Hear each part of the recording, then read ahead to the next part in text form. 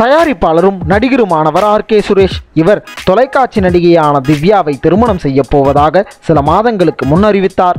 ஆனால் அதன் பிறகு அவர்களது திருமணம் பற்றி எந்த தகவலும் வெளியாகவில்லை.